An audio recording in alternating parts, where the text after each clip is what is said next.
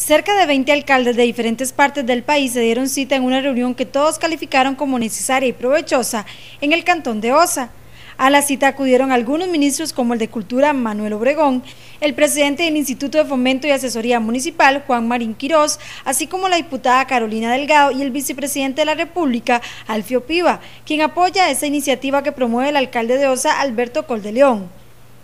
El que un cantón tenga riquezas naturales como playas y bosques no significa que pueda desarrollar proyectos que generen beneficios para los pobladores como por ejemplo construcciones. En el país existe una serie de leyes que al parecer fueron mal interpretadas o se están aplicando según el interés de algunos en las municipalidades que tienen costas y por ende zona marítima terrestre, actualmente son prácticamente administradas por la Contraloría General de la República, en donde incluso les han girado órdenes para demoler edificios y cancelar concesiones otorgadas hace muchos años.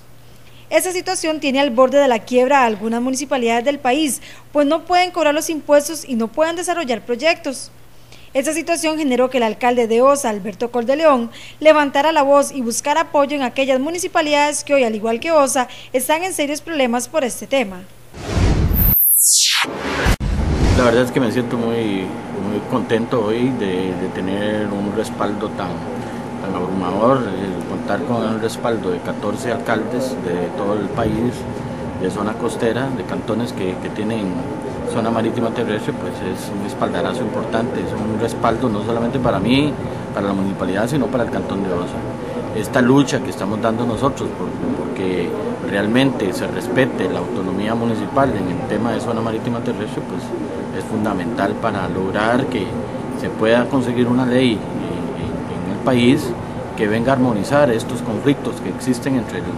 entre la ley forestal y la ley de zona marítima terrestre. El jerarca de OSA ya tiene la propuesta para regular algunas leyes que permitan a las municipalidades recobrar su hegemonía sobre esos territorios y en forma ordenada y amigable con la naturaleza permitir el desarrollo de estas zonas. Bueno, hay que reformar por lo menos tres, tres, leyes para armonizar las discusiones y, la, y, el conflicto que existe entre ellas.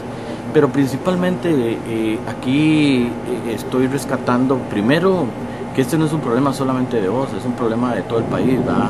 Eh, más, de, más de 350 mil personas eh, dependen de, esta problemática hay gente, pescadores, piangüeros, y mucha gente que ha sentido la presión y que no se les ha permitido desarrollarse. Y cantones como el de Osa, que tiene una riqueza natural como la nuestra, que no se nos ha permitido crecer, que no se nos ha,